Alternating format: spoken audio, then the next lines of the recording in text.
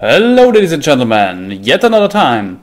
Um, while I'm waiting for my things in Minecraft to, like, I'm, I'm preparing the next episode and I'm waiting for, like, the mana to distribute again and I'm waiting for the power to balance out, so uh, power over here um, was getting low and I increased the timer thing, so we are on power again.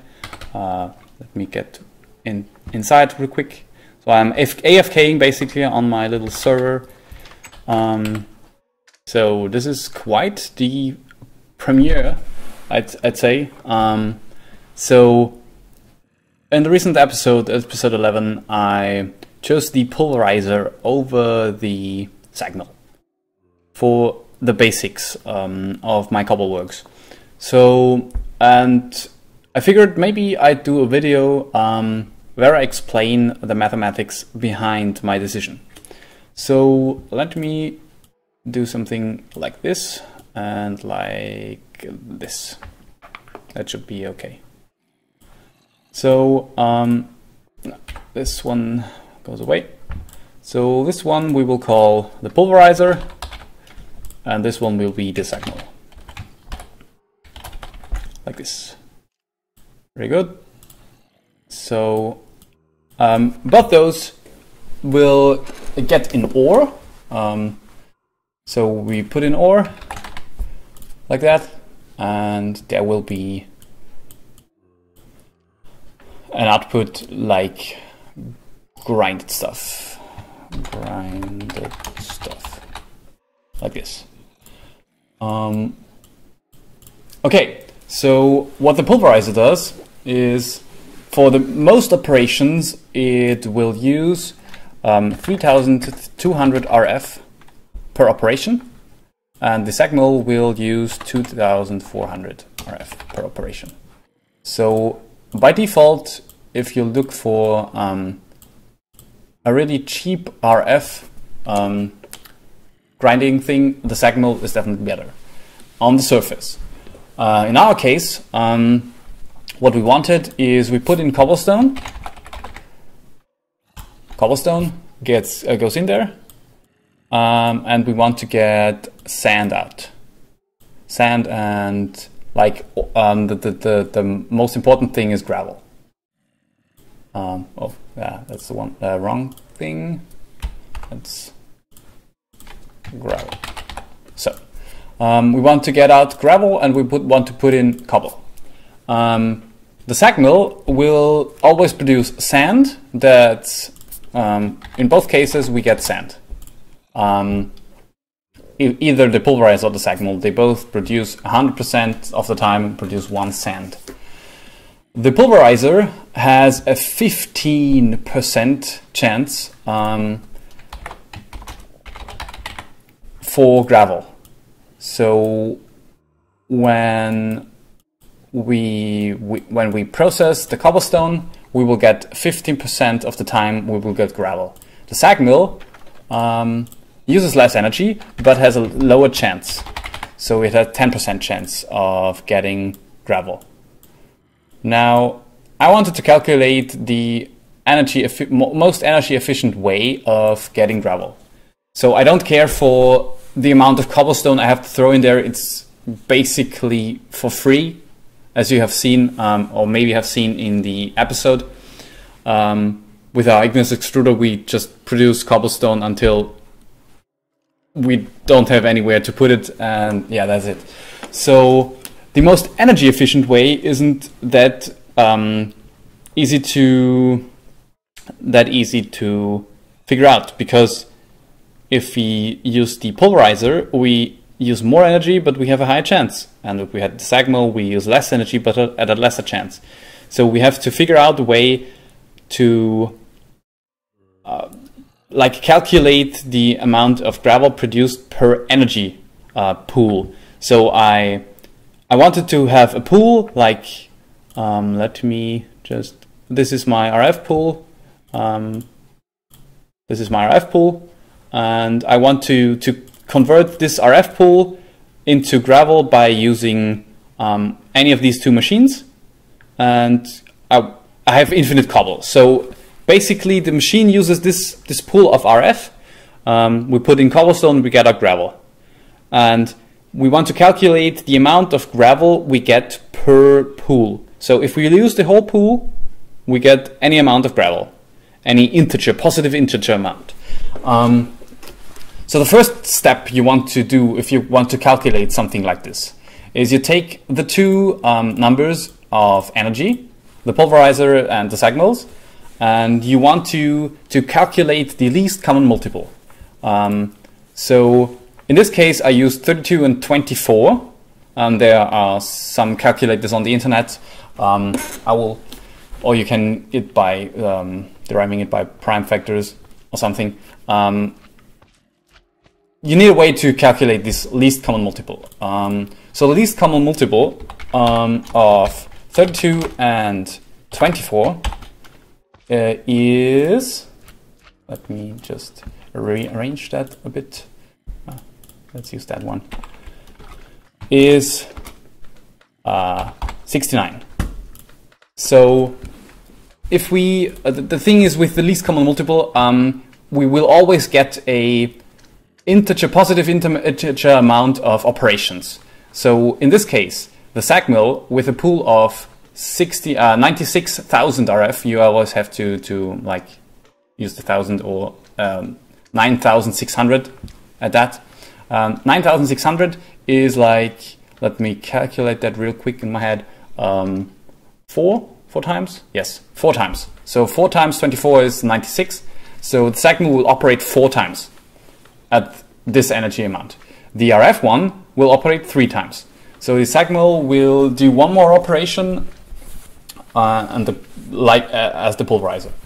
So the pool I used for calculating was one uh, 196,000 uh, 196, RF. This is my pool of energy. So this is like 20 times the least common multiple. I think, yes.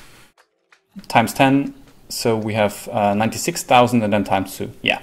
So 196,000, that's completely random. I just took um, one, you just um, multiply the least common multiple with any positive integer to get a pool of RF where those two get a whole operation, uh, uh, an amount of whole operations out of.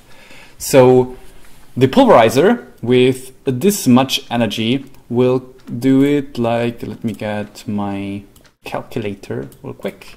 We have this amount and we divide it by 3200 and we get what is that? That's not correct. Did I mistype something? No, I didn't. What's wrong? Is it 90? It is. 96 times 2. Oops.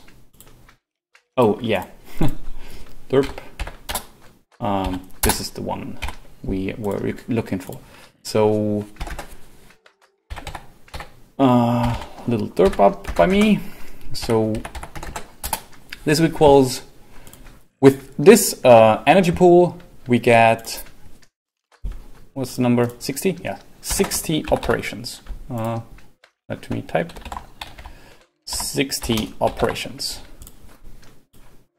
out of this energy pool. With the Sagmill, we get 80 operations. I know that by heart. But we will check in a second. Uh, we don't need P, which is unfortunate, of course, but yeah, 80. So if you then, um, basically you get, out of this RF pool, you get 60 operations, 80 operations. So statistically, if we have a 10% chance of getting gravel. Um, out of 80 operations, we will get as output, let me do that in my fancy pen, we get 8 gravel. That's pretty easy to calculate. So 10% of 80 is 8. Um, on the other hand, out of 60 operations, uh, let me get that we need to calculate with 15%. Uh, so uh, let me get my uh, calculator again. So 60 times 1.15, so 15%, it's 9. So based on that, um, 9 gravel. So based on this calculation, um, without any augments or something, just the basic pulverizer, the basic sag mill, and any amount of RF. There's always, um, it's more energy efficient to use the pulverizer than to use the sag mill. Um, if you look at like 96, so three operations, three operations and 15% chance, um, three operations, uh, sorry, three operations times, uh, come on, reset, times, we get 0.45 um, uh, gravel, and with four operations and 10%, we get 0.4. So there's always a difference in chance. Statistically, of course, if you happen to have luck with the sag mill, you will get more gravel. But in the long run, you will always get more gravel out of the pulverizer for the same amount of energy as you would get in the sag mill. So I hope you liked my little um, calculation tutorial um, and how I did the math on the pulverizer and the sag mill.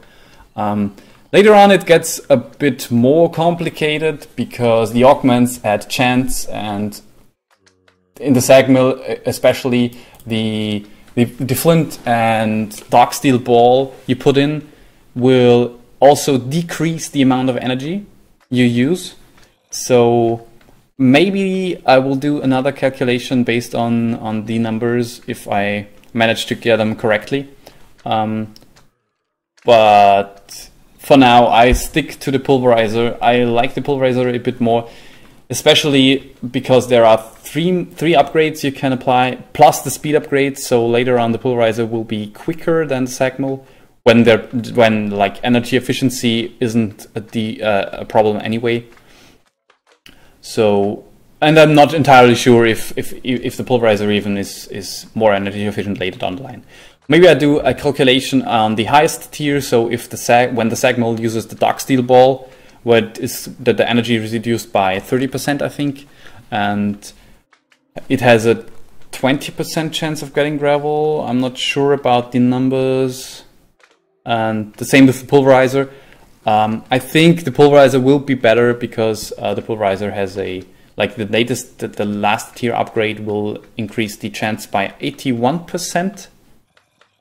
Just just adding it to this number, I guess. I'm, I'm not entirely entirely sure um, how that works, but like the sag mill will then have like 170 something RF if I guessed that correctly, something about that, and a 20% chance. And the pulverizer uses like twice the amount, but has like the four times the, the chance of getting gravel. So in the long run, again, the, the energy per gravel will be lower, or gravel per energy, uh, so to speak. Um, so yeah, I hope you enjoyed it. Um, I hope you liked the episode. This is for as well, and I will see you all around.